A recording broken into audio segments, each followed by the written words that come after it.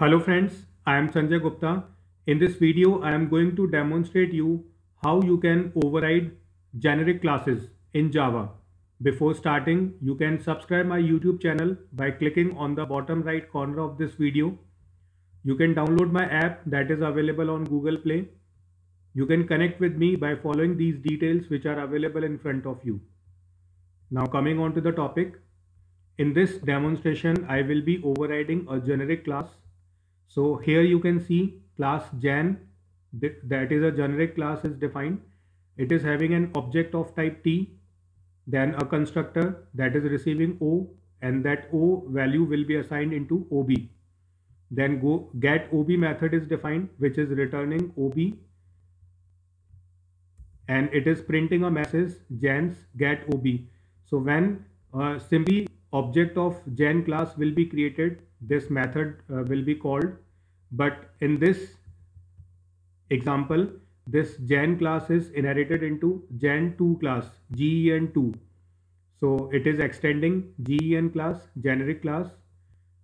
Uh, you can read the comment a subclass of gen that overrides get ob so here uh, get ob method is defined which is overriding uh, its superclass get ob method before that, a constructor is defined which is receiving O as an argument and that O is passed uh, in superclass using super keyword. Then get OB method is defined.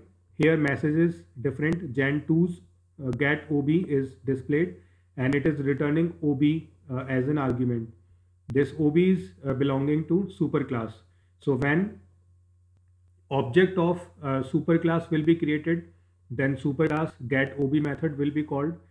But if object of subclass that is gen2 is created then get ob method of gen2 will be created uh, sorry called and this will return value of ob that is available inside superclass. Now you can see gen demo class is defined which is having main method. Inside main method first object iob is created of gen class it is for superclass and it is calling uh, sorry it is having an argument 88 then gen2 class object iob2 is created. It is having an integer value. Then gen2 class strOb2 is created which is having string generics test as an argument. Then iob.getob iob2.getob and strOb2 uh, getob is called so this first statement system.out.println is calling superclass getOb because IOB belongs to gen class only.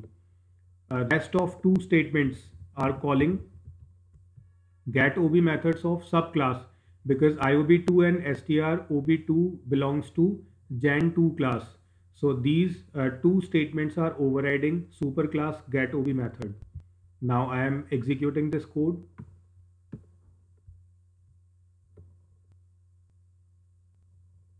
You can see the output.